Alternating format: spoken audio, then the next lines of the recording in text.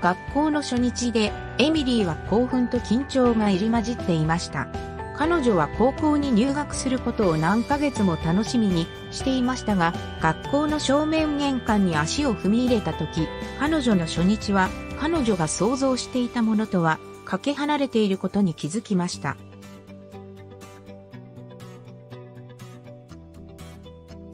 何度開けても開かないロッカーから始まりました。彼女はすでに最初のクラスに遅れており、ロッカーは廊下の真ん中にあり、大渋滞を引き起こしていました。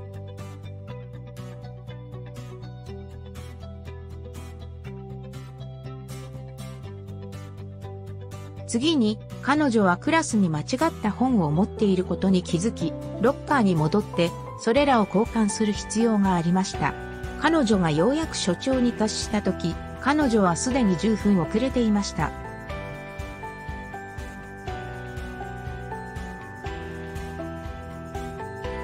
彼女の1日はそこから下り坂になりました。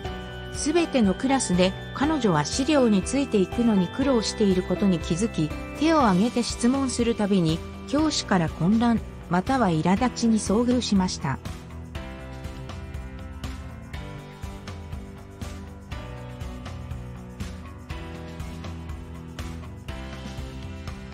昼食時、彼女は一人でテーブルに座り、分刻みで孤独を感じていた。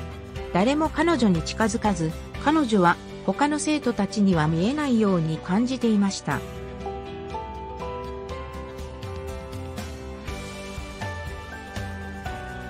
その日の終わりまでにエミリーは疲れ果て完全に落胆しました。彼女は自分の人生でこれほど場違いに感じたことはなかったのでひどい初日は何かが起こる前兆なのだろうかと思わずにはいられませんでした。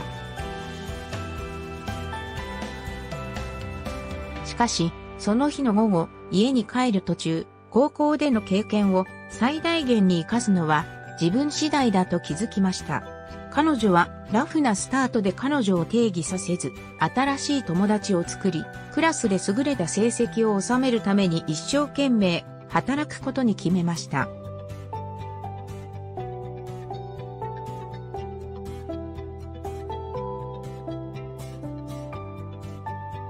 そして、それは、まさに彼女がしたことです。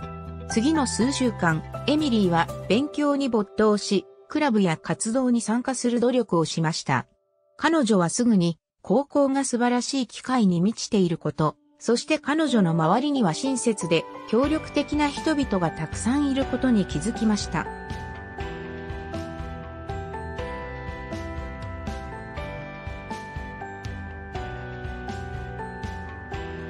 彼女の初日はひどいものだったかもしれませんが、それは彼女の素晴らしい高校生活の始まりに過ぎませんでした。